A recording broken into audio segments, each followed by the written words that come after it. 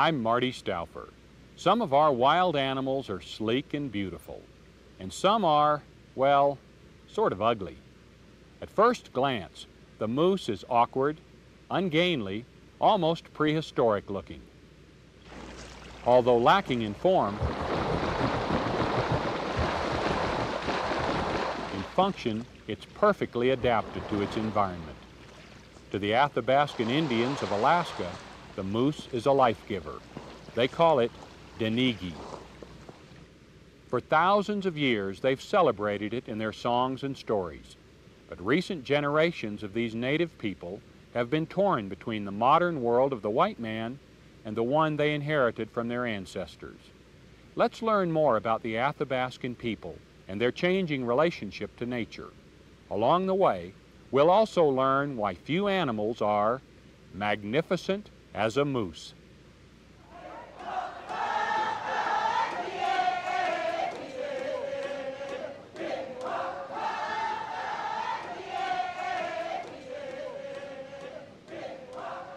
Mirror images of the Alaska Range and Mount McKinley reflect brilliantly from thousands of lakes and ponds in central Alaska.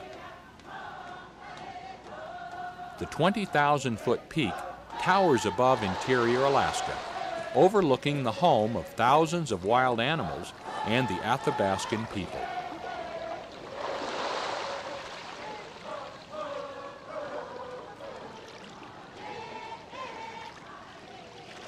The Athabascan Indians call this mountain Denali, which some say translates as the Great One.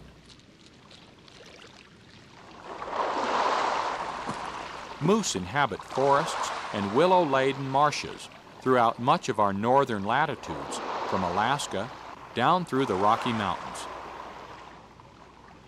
They are among the few species of wildlife that have increased in recent years. Today, there are almost a million moose in North America, more than twice as many as were present just 30 years ago. Humans are not the only species which depend on moose for food. Grizzly bears and wolves also prey on them. In fact, humans and wild predators are increasingly competing with one another for moose. The Athabascans once hunted moose with bow and arrow and snares, so their very livelihood depended on an intimate knowledge of the animals they hunted. They inherited much of this knowledge from their ancestors in the form of songs and stories.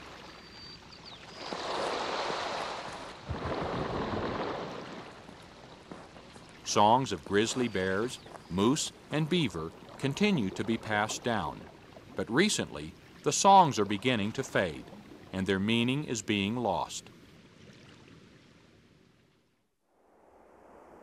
Minto is a small Athabascan village in interior Alaska. Its several hundred residents still live a primarily subsistence lifestyle. The land provides them with an abundance of salmon, waterfowl, moose, and caribou. Life is changing rapidly for all the people of Minto, but this is especially true for 91-year-old Peter John. His generation traded bow and arrow, canoe, and dog team for rifle, motorboat, and snowmobile. All were good trades from a survival standpoint, but none have come without a cost. Let's listen to the words of Peter John. Because what I've seen is altogether gone today, but the memory is still there. And you can't forget what happened many years ago. By looking across the country here, I think about my great great grandfather.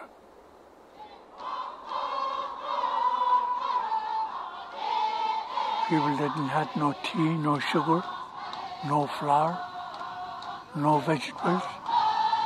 Let's make it. God made this world and everything that's in it.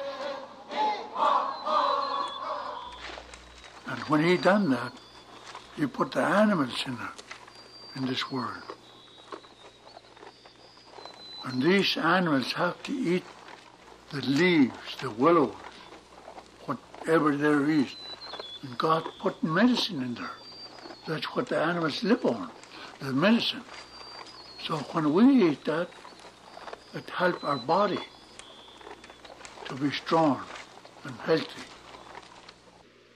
When I shot my first moose, I was about 12 years old. There's a lot of things that's going along with it.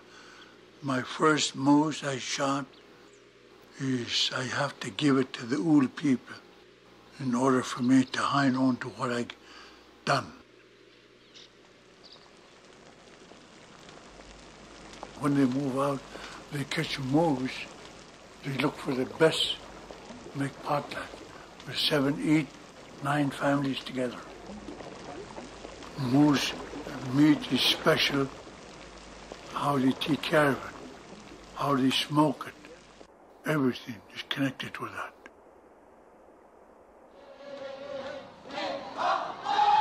In the early part of uh, the Athabascan culture stand for a lot of things that's, that we don't have right now. We've lost many all of it. A long time before our time, people used to know what to take and what's not to take.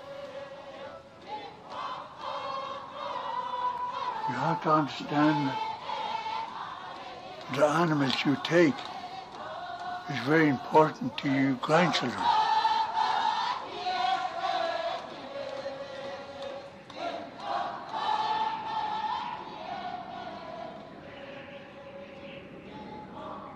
The Athabascan way is not like the white man way. The first moose he catch and the first moose that he, I want him to catch is good moose. One shot. That's all it's going to take to catch that moose. Because you make two, three shots, then that's the way the bullet's going to travel all his life. I'm an Indian. That's the kind of a life I choose me. I don't know what kind of a life you choose. I think that's an interesting thing. This one piece will make 52 layers. Watch on mobile devices or the big screen. All for free. No subscription required. You're white and you got a way better education than I got. But the education I got, you'll never get it. No way. Because I'm the last one that knows about it.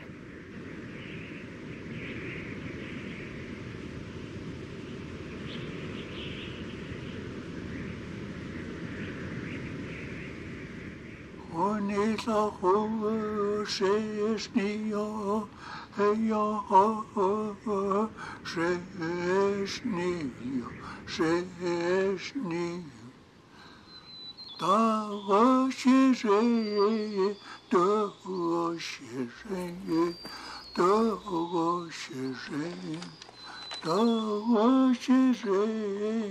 da shire I'm singing two songs here. And the man that made this song is an expert on bear.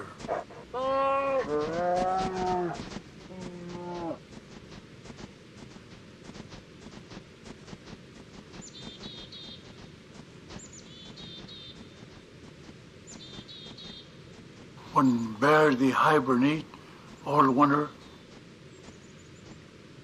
in the springtime when calf, or they go and hunt for calf and kill them.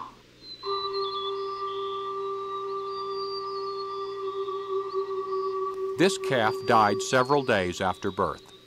It's only a matter of time before its scent reaches the keen nose of a grizzly or a wolf, but the cow remains faithfully by its side.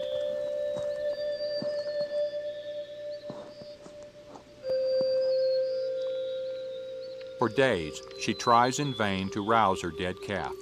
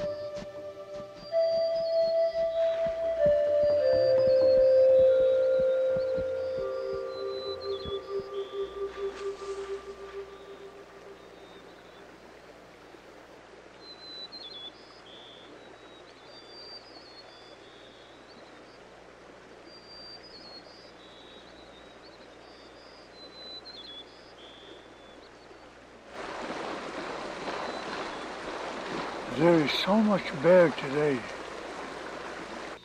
that um, they most they go to the water and they follow that water. They walk in the water for miles. Even that, the bear will find them, just so that they can have young one. They try to get away from the bear all they can by walking in the water that don't that don't stop the bear.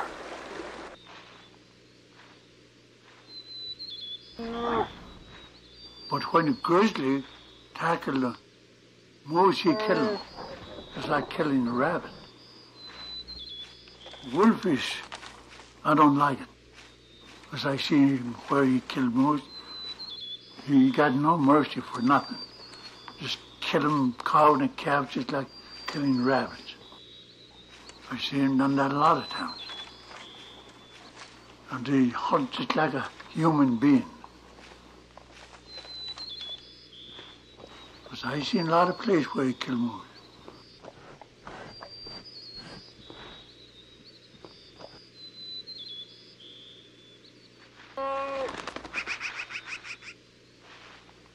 In some areas of Alaska, grizzlies and wolves kill 80% of the moose calves before they're three months old. Ecologists once thought that predators caught mainly old and weak animals, having little impact on the populations of their prey. Recent studies have shown that predators are indeed having an impact on moose populations. Fortunately, some calves survive, and by midsummer, they're large enough to outrun most predators.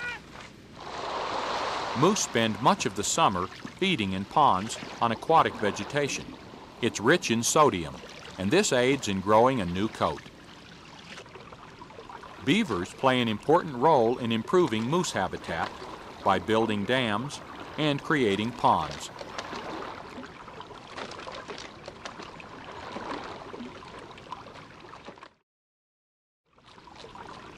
Willow and alder grow in the riparian areas surrounding the ponds, providing both beaver and moose with an important source of food. By building dams, these industrious rodents provide a home for many species of wildlife. When beavers abandon the pond, it becomes a lush meadow, which benefits yet other animals.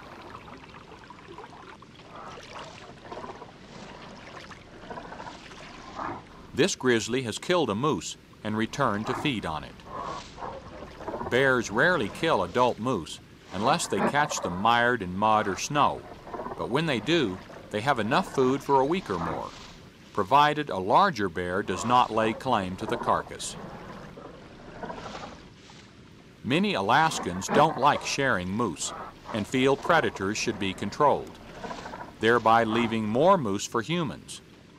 Yet predators are an important part of the natural environment, essential to healthy ecosystems.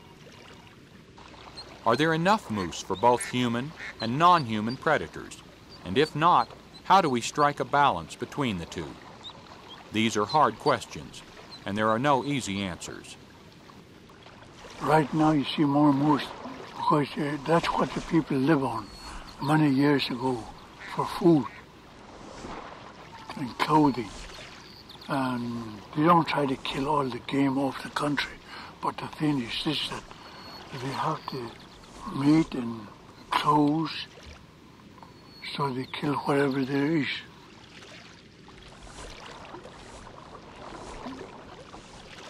In them days there was no game warden. And the federal government got nothing to do with what, what we kill. But as an Indian, everything we catch is very important to the family. So we have to take care of it. Many, many years ago, the animals talk through the person. And that's the one they seen, the Athabascan culture. This world is not the way God made it. It's altogether different. So therefore, we're giving the animals the hard time, which they didn't earn. But us, contaminate the water, the air, even the grass, leaves, everything what animals live on is contaminated.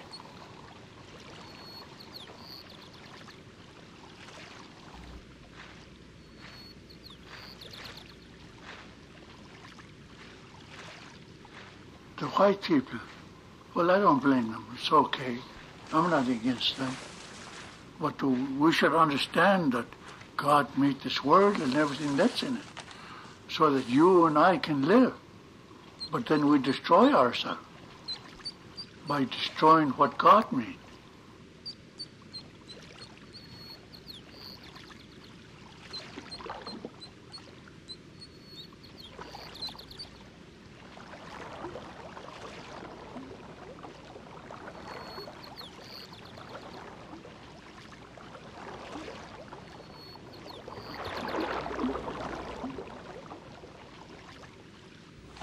As the long days of summer shorten, the antlers of bull moose reach massive proportions. Some are more than six feet from tip to tip. Moose are the largest member of the deer family, and the subspecies that lives in Alaska is the largest of all. Some bulls weigh almost a ton. It's their great size that makes them so valuable to the Athabascans. One moose can feed an entire village for days. The bloody velvet, which has nourished the growing antler, begins to peel away in great sheets. Bulls will spend the next several weeks searching for cows, sparring with other bulls, and preparing for the rut.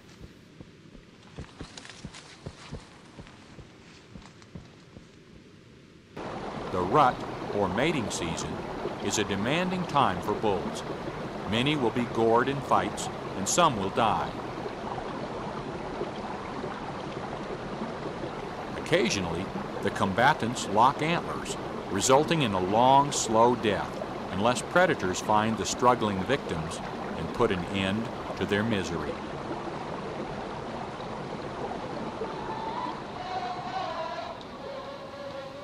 Once I was out, this is a long time ago, no game warden. I shot three moose. There was two boys with, with me. They tell me, you were shooting with that calf. I tell them, everything go. So we went there. We butcher it and put it away. I tell them, boys, you go and put it away. I tell them, boys, you go. I started praying. I started praying. But I asked for help so that the animals don't touch it.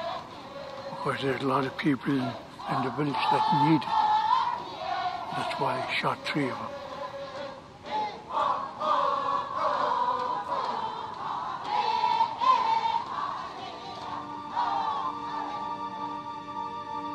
I went there and I prayed. I asked God for helping me get what I want.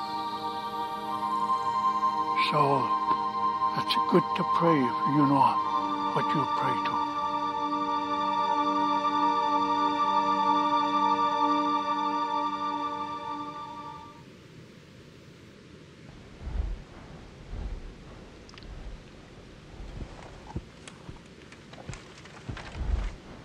As the rut commences, Cows gather into harems, and bulls begin to dig pits in which they urinate.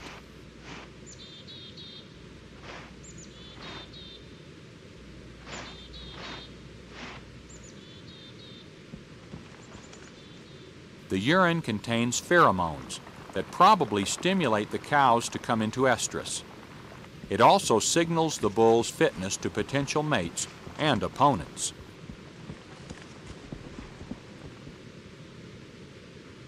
Both sexes have distinctive calls, which aid in locating one another in the thick vegetation. The cow's call is termed a protest moan. It's thought that by vocalizing, the cows attract more bulls. More bulls means more competition, and more competition means a greater chance of finding the healthiest mate.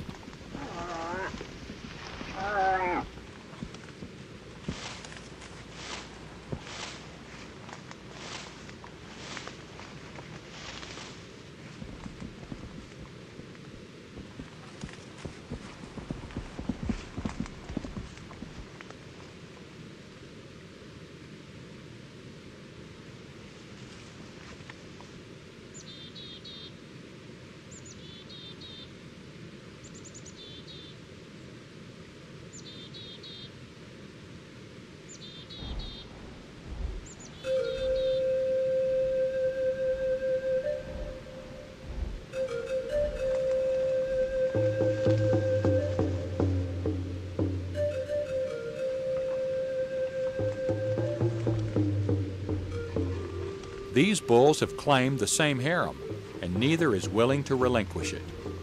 Turning the head and racking the antlers shows their size to maximum advantage. But if the opponent is not impressed, a fight will follow.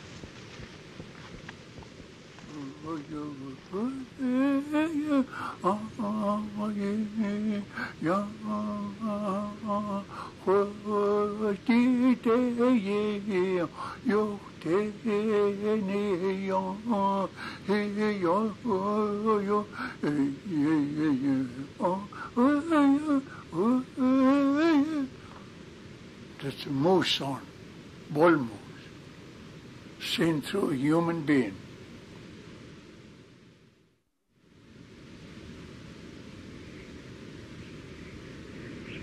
Now, during the meeting season, the bull moose never eat for one month.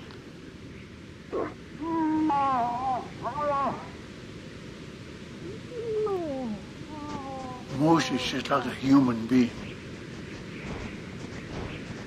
Now, when he eats, the moose is going to take care of himself. It's very important the way he feeds. You don't just try to grab everything. The Athabascan Indian that don't hide whatever you catch from you French.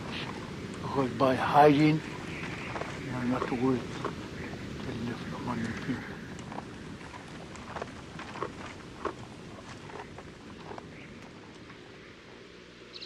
Too much white man way. TV, tape recorder, everything white man way. It was uh, 1971 when the first uh, road come in here. It's not fit for people, the road. It's, it's all right in a way, but uh, that drinking problem is too much for the native people. My grandchildren, I got nothing to leave with them. No money, nothing. But the only thing I'm going to with, with them is that the films that we make. So I had to give them everything I got that I understand in life. How they could make it. I talk to them just like if I'm talking to you. And I don't hold nothing back. Try to give them the best I got. And that ain't much. I'm not hiding anything from anybody.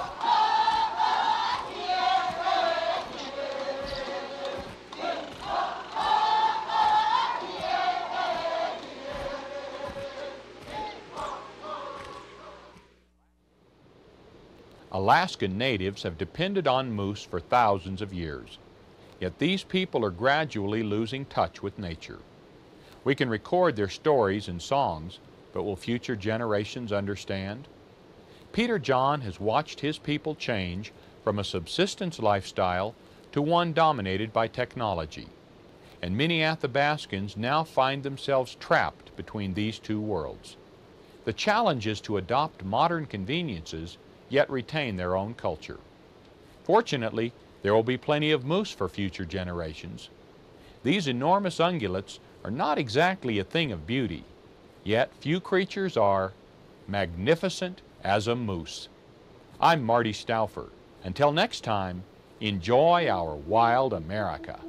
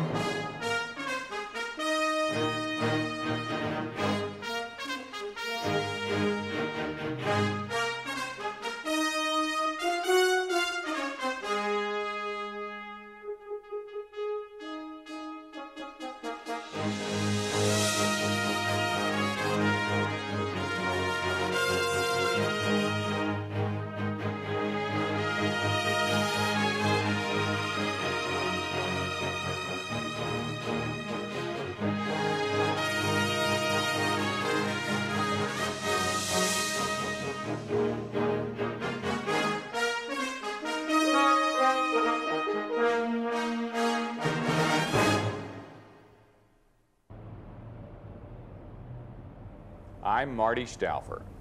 Here in Philadelphia, the Liberty Bell is a famous symbol of freedom. In the same way, the white-tailed deer is a familiar and beloved symbol of the wild. And just as Pennsylvania is typical of what's best about American life, so the story of the whitetail in Pennsylvania shows that some wildlife can thrive in man's world. These deer are found in all of the continental United States, so they're not unique. The ones here are the same subspecies that's found all over the Northeast, but the Keystone State has been especially good for them. At the beginning of the century, hardly a whitetail was left in Pennsylvania. Now there are almost a million. But success has two sides. Hunters and wildlife lovers see them as an asset. Farmers and lumber companies see them as a liability. Since almost all their natural predators are gone, without careful management, overpopulation can make them their own worst enemy. This is the story of how a wild creature can live with man. The story of the Pennsylvania whitetail.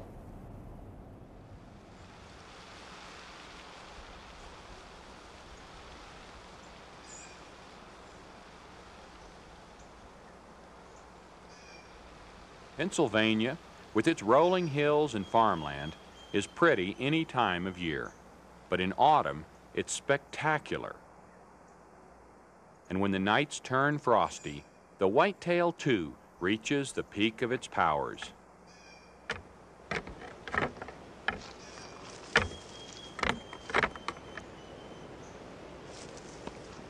Naturalist Ernest Thompson Seton proclaimed the whitetail the swiftest, keenest, shyest, wisest, most prolific, and most successful of our deer. He also called this graceful creature the American deer. As much as it deserves these superlatives, the whitetail's success must be credited to human as well as to natural factors.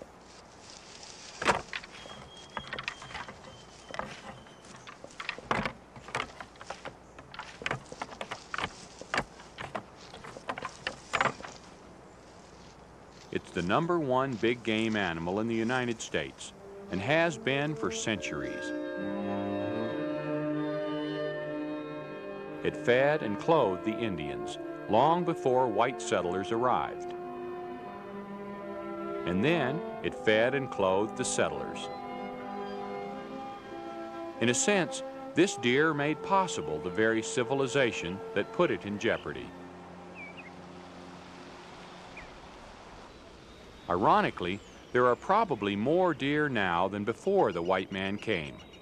In Pennsylvania's Cook State Forest, one of the last stands of virgin timber remaining in the east, we can see how a towering canopy of primeval trees limits the underbrush that whitetails depend on for food.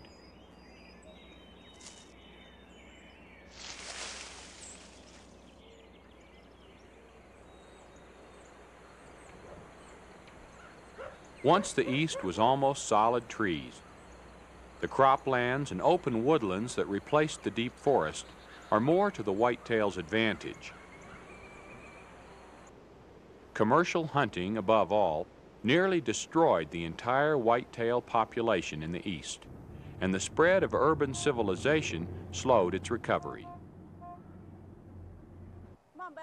That a healthy society must leave room for its wild creatures was recognized early in Pennsylvania, and whitetail numbers have been on the increase since the beginning of the century.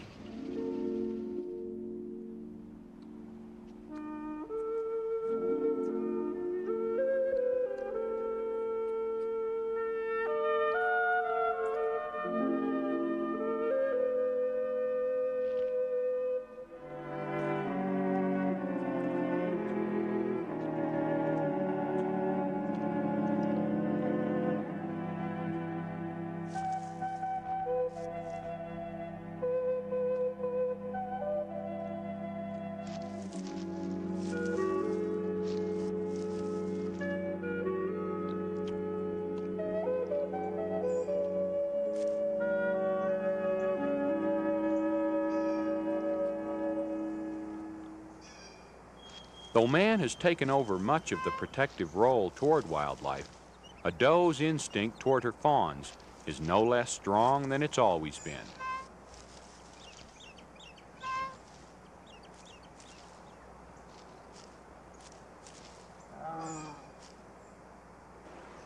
The black bear is another large mammal that still roams the woods of eastern America.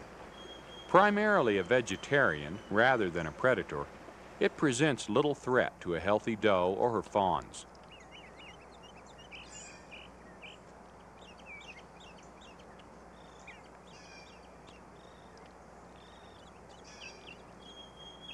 Only a few short centuries ago, the doe would have had more to contend with. Mountain lions and even jaguars roamed Pennsylvania, along with packs of wolves. Now the only serious predator is man. Yeah, what's that? Looks like something's been rubbing on here. Yeah, and here too. Wonder what it was. Well, I don't know.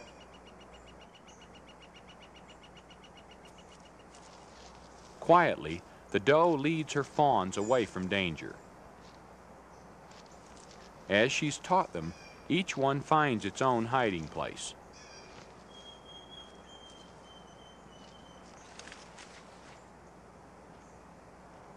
This pile of timber looks pretty dry. Yeah, but let's start with that one over the hill that I saw the other day. Well, we'll have to carry it.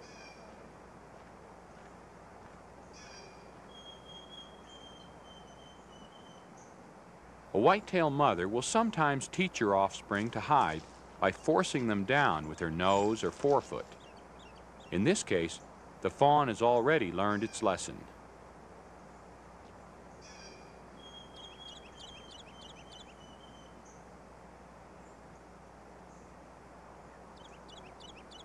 The doe knows that one of her fawns is hiding close by. But where's the other one? And is it safe? As reluctant as she is to leave her fawns, her instinct tells her that she must first protect her own life.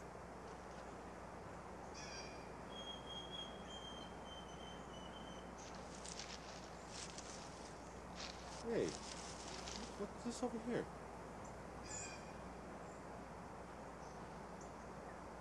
The doe cannot know that the woodsmen mean her fawn no harm.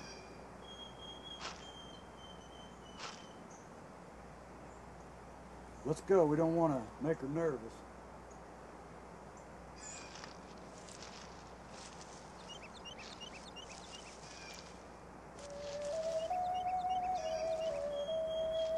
The doe is wise in her caution, but her offspring seem interested only in lunch.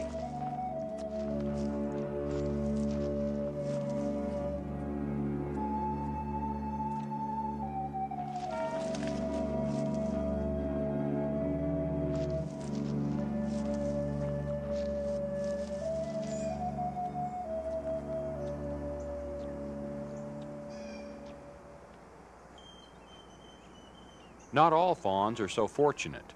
Many are orphaned before they lose their spots.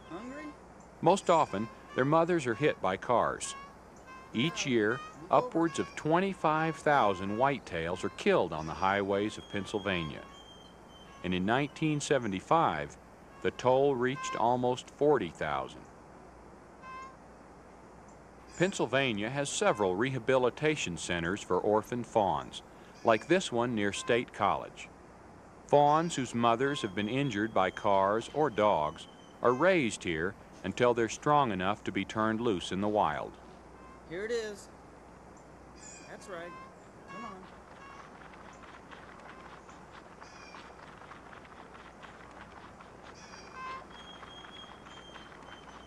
A fawn alone by the roadside may need help, but it's not a good idea to remove a fawn from its hiding place in the woods. The mother is probably very much alive and very close by. Summer is a refreshing time for everybody.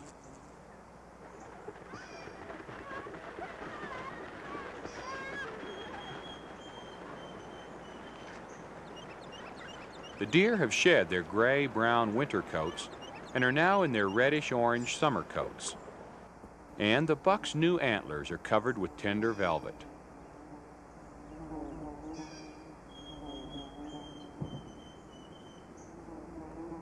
One of the whitetail's worst problems is insects. Its thin summer coat affords little protection from the swarms of biting flies, mosquitoes, and midges. It's no wonder that many deer take to the water or stay in the tall grass to find relief from these tiny tormentors.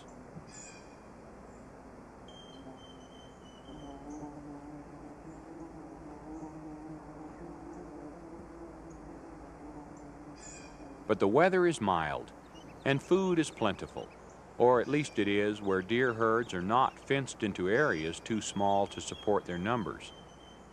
An adult whitetail requires at least 10 or 12 acres on which to browse. This density ensures healthy vegetation and healthy deer.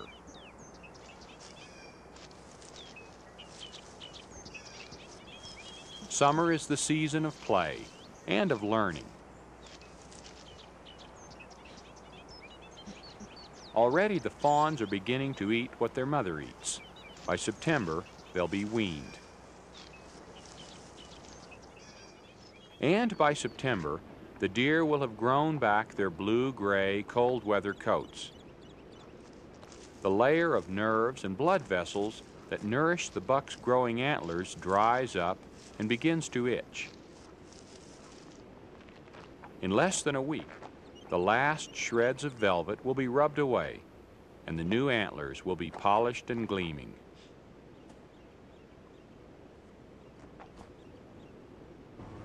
This is the season of plenty, when the deer put on weight, and hunters scout their quarry. All summer, bucks and does have remained apart. The does with their fawns, and the bucks at peace with each other. But as October's leaves turn red and gold, the tempo of life quickens as whitetails prepare to meet in the most important rituals of their lives.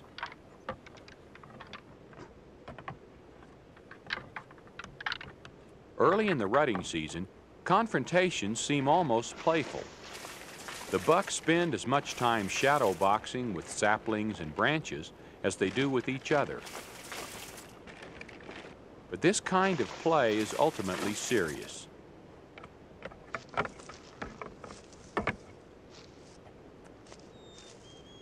With their proud antlers and swollen necks, the bucks are in splendid condition.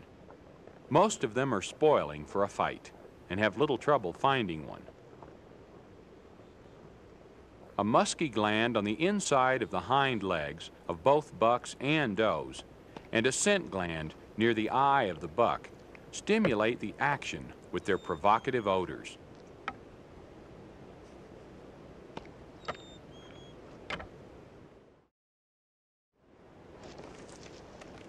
A buck with tines on its antlers is called a rack buck. One without is known as a spike buck.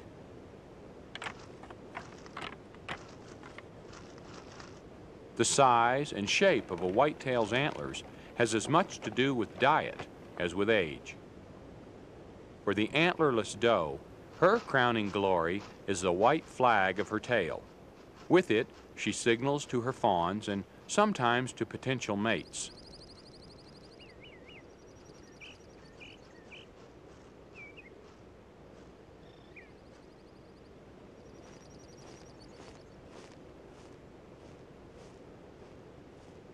During early fall, the deer fatten up on corn, apples, and other crops, as well as on woodland plants. One whitetail does little damage, but a small herd can create havoc in a farmer's field or nibble a newly planted forest to the ground.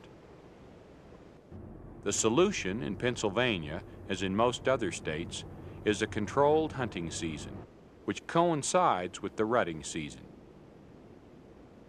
Individual reasons for hunting are many, and it's not the purpose of this program to either denounce or defend sport hunting.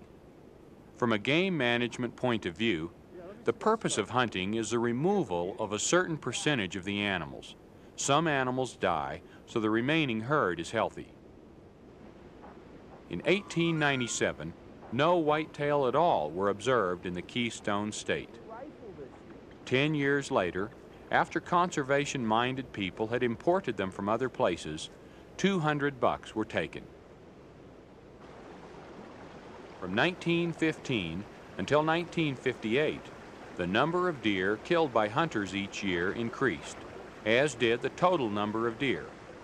Currently, there's a harvest of well over 100,000 animals each season.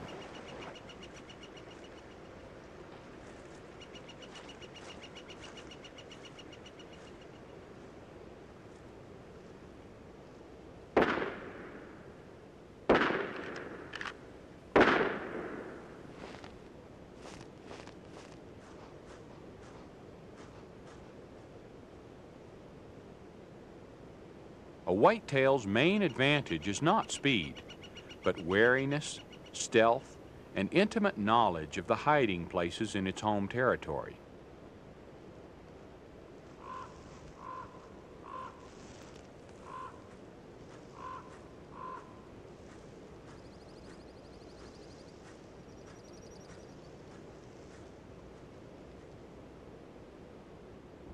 I tell you, that's a nice rack on that you get this guy? Oh, about 20 miles south of town down there. Man is sometimes a force unto himself, Up in the tree. but even he is subject to nature's laws. Well, yeah, about dawn. Got him. Man hastens nature's process. The deer that die create a place for those that go on living.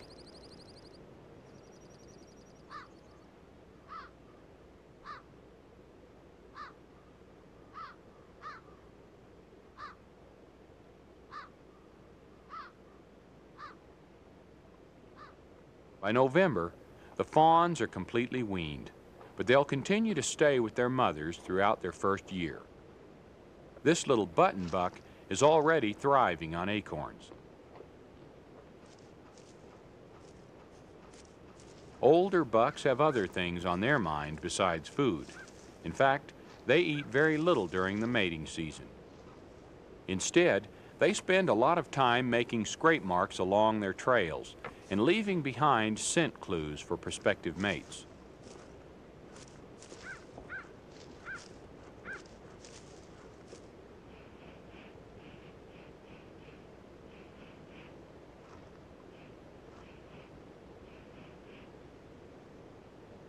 One of the reasons for the whitetail's prolific success is that bucks reach sexual maturity by age two, and does even earlier, while they're still yearlings. Most bucks do not mate until they're in the prime of life, about three or four years old, like this one.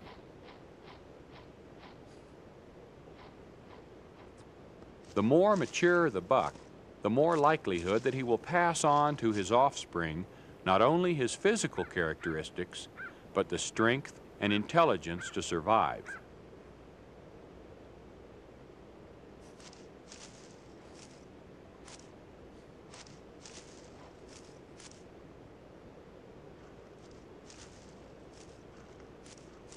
The rut lasts from late October through February.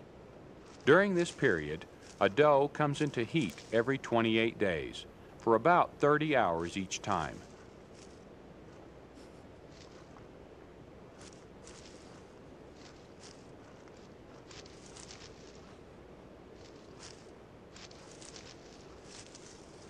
Her odor and attitude reveal whether she's ready to accept the buck. If she's not, he continues his search for a doe that is.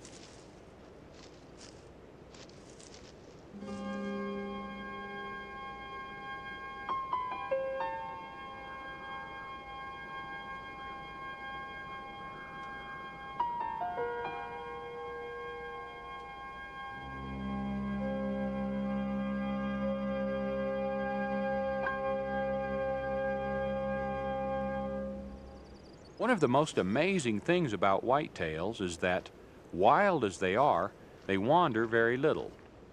Homebodies, they live their entire lives in an area of less than one square mile. Even if food becomes scarce, they're reluctant to move.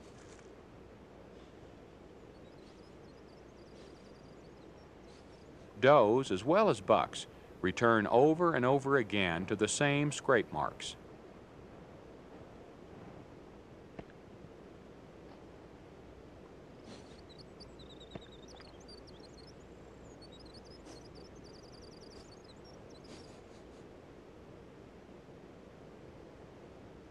Now, at the height of the rut, the watching buck senses that the once reluctant doe is now ready to breed.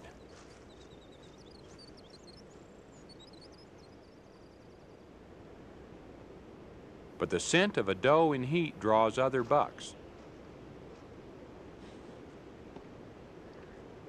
At this time of year, the deer in a given area have formed a loosely knit herd. A buck following a doe in heat often enters the territory of another buck.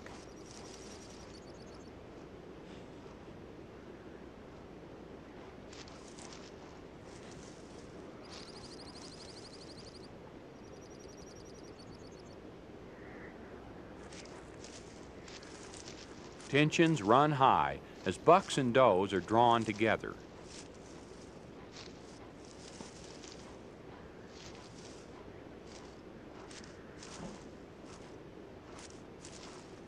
Tucked under tails and laid back ears give notice that rivalry among these magnificent equals is about to come to blows.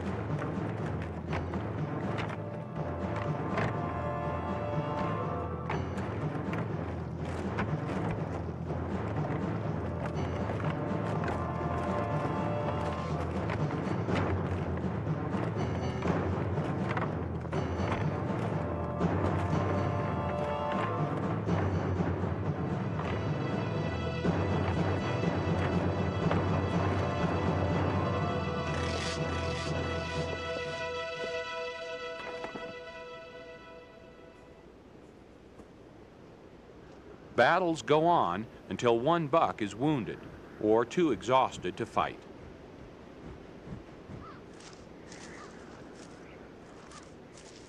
Some of the does may scatter. The winner is the buck with enough stamina to follow.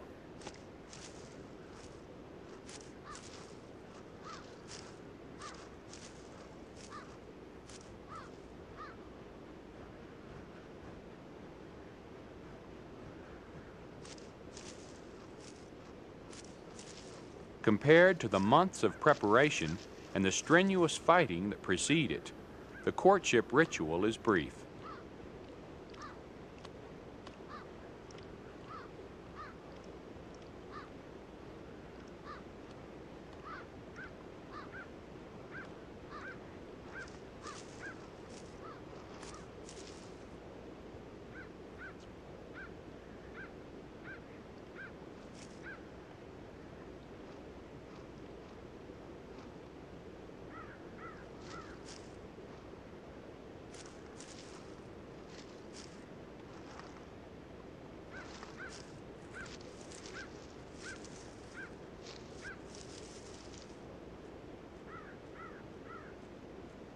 As a species, whitetails in Pennsylvania may be the most well-observed, thoroughly studied, and carefully managed wild animals in existence, a natural resource to be harvested. But as individuals, each whitetail is still a beautifully wild and untamable creature. Each still lives out its life according to instincts and habits evolved over many centuries. Close association with man may now be the major influence on this deer, but with man's help, it will continue to evolve as our most admired symbol of all wild things.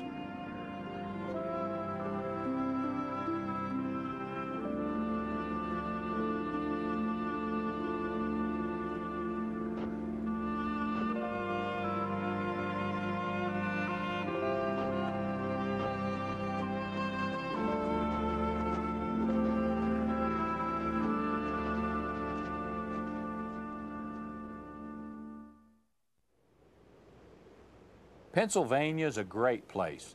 Colorful, down home, and all American. Maybe this is because the Keystone State is finding a way to balance its resources so that wild creatures and their habitat are as necessary as industrial development, which seems like a very civilized way of looking at the world to me. As we grow wiser, perhaps we'll learn that all wildlife is valuable. After all, Living free is as important to them as it is to us.